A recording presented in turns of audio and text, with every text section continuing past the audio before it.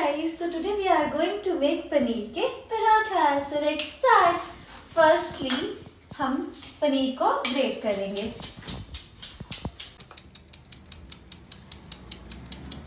तो गाइस हमने अपना पनीर जो है वो अच्छे से ग्रेट कर लिया है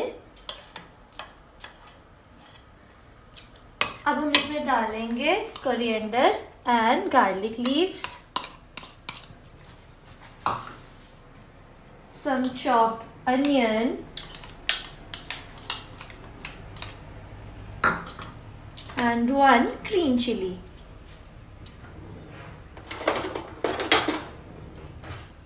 इसको मैं सीजर से कट करती हूँ क्योंकि ये मेरे हैंड्स में बहुत जल्दी लग जाती है इसलिए। और इससे बिल्कुल फाइन जो है वो कट हो जाती है।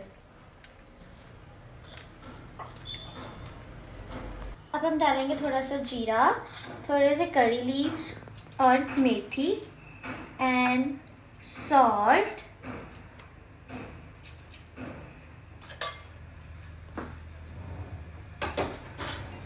now we will mix it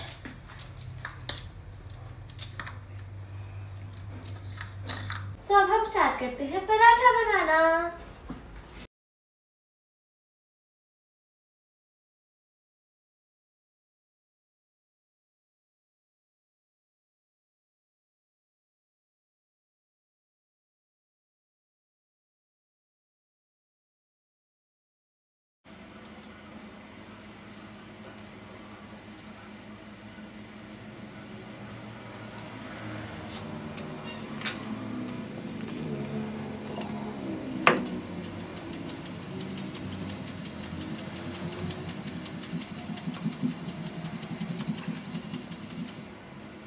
पतले पराठे पसंद है, इसलिए हम इसको अच्छे से रोल रोल करके पतला कर देते हैं। गाइस तो मैंने ये घी मेल्ट करके रख लिया है और थोड़ा सा हमारा पराठा पक जाएगा तो फिर मैं इसमें घी की, घी से इसको ऑयलिंग कर दूँगी, है ना?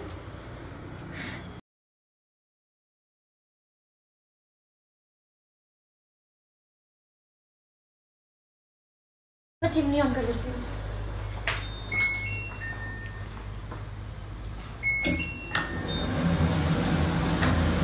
तो गाइस हमारा फ़र्स्ट पराठा जो है वो रेडी होता हुआ दिख रहा है। अब मैं खिलाऊँगी ये अंशित को और अंशित देंगे रिव्यू कि मैंने ये कैसा बनाया। गाइस पराठा इज़ रेडी अब मैं अंशित को test करवाऊँगी। So let's go so guys अब अंशित से पूछते हैं कि उन्हें पराठा कैसा लगा। Very delicious. Thank you